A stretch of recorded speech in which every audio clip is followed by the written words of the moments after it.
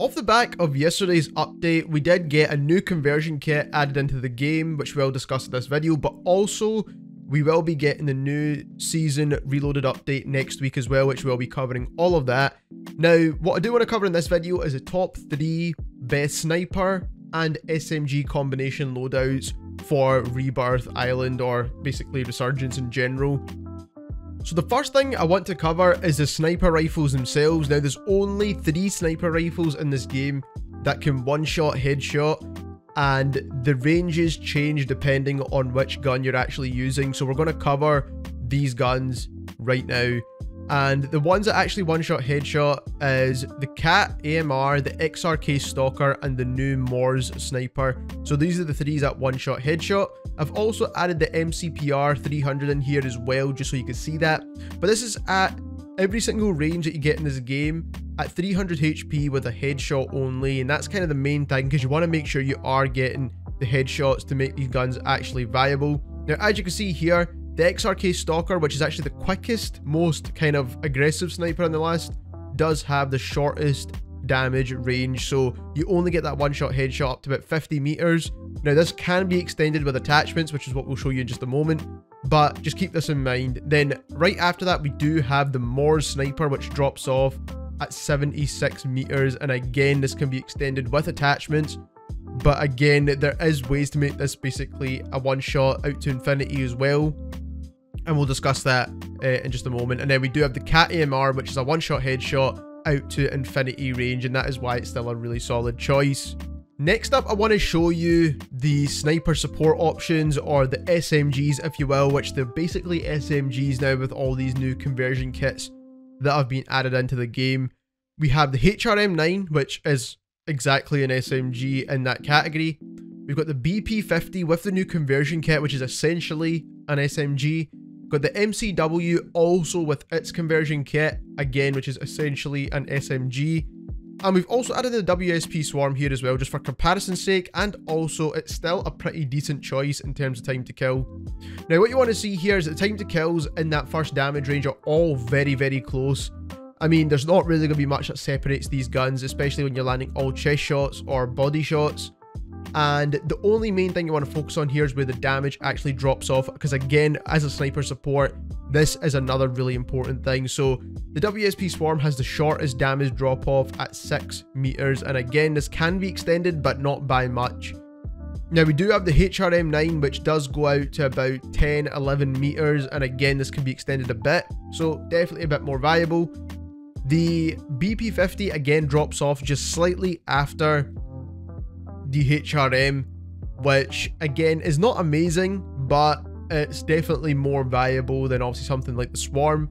And this cannot be extended because there's not any barrel attachments for this conversion kit. And then we do have the MCW, which has an insanely good TTK, but also out to 20 meters, which can also be extended as well. So moving on into the classes now, we do have all these different combinations of weapons. You can mix and match them as you please and I'll go over which ones I think are kind of the kind of best choices in the game.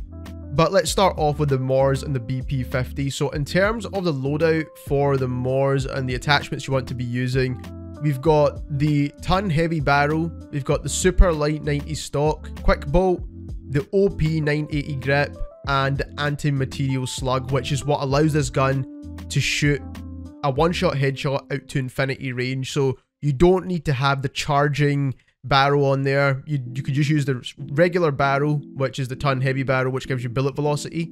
As you can see here, bullet velocity, idle sway. But this will give you that one-shot headshot out to infinity range, which is actually a fantastic bonus of this gun. Again, this is the super light stock. This is going to help with aim down sight speed and aim walking speed, just overall movement stats. Quick bolt helps with rechambering speed.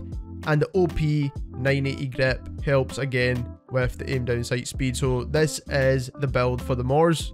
Moving into the BP50 conversion kit build, now obviously you need the conversion kit itself. Um, as you can see here, basically turns this gun into an SMG. For the rear grip, I do think you need a tack tape. It's the only thing that really helps the sprint to fire speed, and the recoil on this is pretty low anyway, so that is the one I would recommend going for.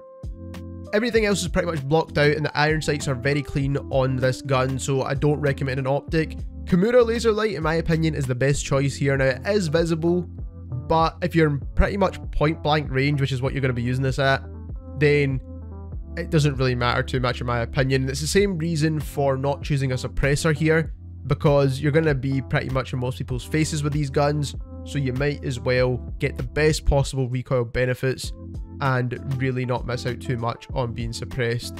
And then we are using the high grain rounds for some extra bullet velocity just to make sure you land those shots. You can also choose something that gives you a bit more recoil control like the low grain rounds, but that is personal preference. I think the recoil on this gun is very easy to manage anyway. Moving on into what is my personal favourite loadout and the one that I think is actually the most well-rounded, well-balanced and is probably going to be the easiest to use. There's the XRK Stalker with the MCW and this is going to be probably the best sniper class in my opinion that's in the game. So we are using the XRK Stalker. The build for this hasn't really changed. We're trying to maximize the damage range on this gun in particular because it has the shortest drop off obviously for that one shot headshot. So with this build in particular, you do get that range extended from 50 to 75 meters now, which is actually a lot better.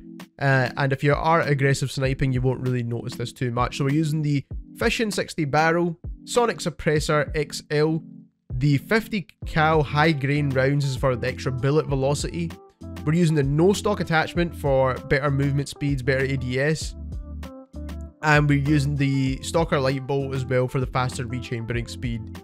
Moving on into the MCW, which is a very easy to use gun, even still with that conversion kit on there. So we've got the JAK Raven conversion kit, which helps with the rate of fire and again, essentially turns this gun into an SMG. You do want to use the 40 round mags, um, so it just gives you that larger magazine capacity.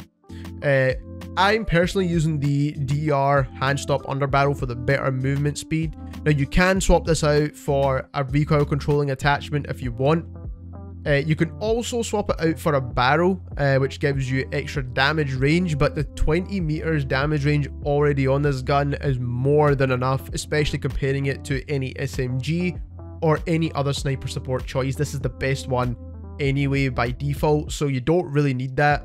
I am using the flash hider to get better recoil control out of this, so it doesn't give you um, any kind of cons to movement because that is what we're trying to keep with this gun because it's still an assault rifle those kind of stats in terms of movement stats.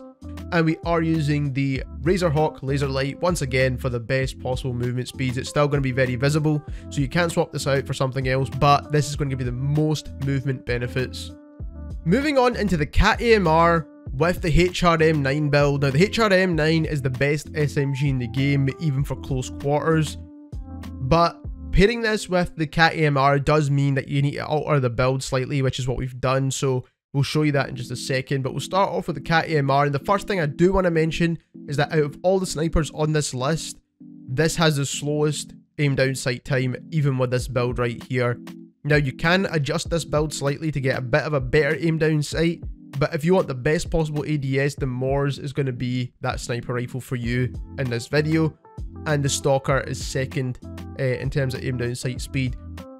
But when it comes to this one, obviously it's a one-shot headshot out to infinity, so you don't need to mess about with the build too much, and you know you're always guaranteed that one-shot headshot all the time. Um, and that's obviously the main benefit of using this gun right here. So we've got the Sonic Suppressor, uh, which is going to help with velocity and range. The Zang Barrel, which is going to help with velocity and range once again. We've got the Razorhawk Laser Light, which again helps with aim down sight speed. You could swap this out for a different optic if you prefer. The optic on this gun is not the best. We are using the Quick Bolt, uh, which is going to help with rechambering speed. And we are also using high velocity rounds. Again, this is something you could swap out for the optic if you prefer to do it this way instead. Uh, but this is going to give you the best possible bullet velocity. Now, this obviously does have really good bullet velocity, this build. But like I said, you can swap out something for an optic if you prefer to do that instead.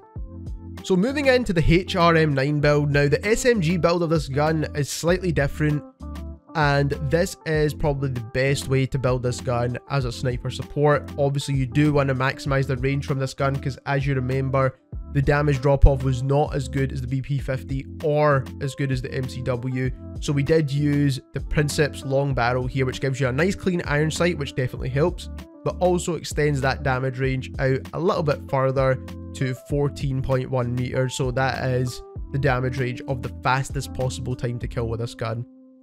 We are using that flash hider once again. It just helps with recoil control. And again, we don't really need to be suppressed, but if you do want to be suppressed, you could choose a suppressor instead. Uh, we are using that laser light once again. I just like having the best possible movement by any means necessary, even though this is going to be visible. And we are using a hatchet light stock. Again, this is going to be for the best possible strafing speeds. It's probably going to be one of the benefits of using this gun over the kind of assault rifle versions that we have in this video because it's going to have slightly better movement.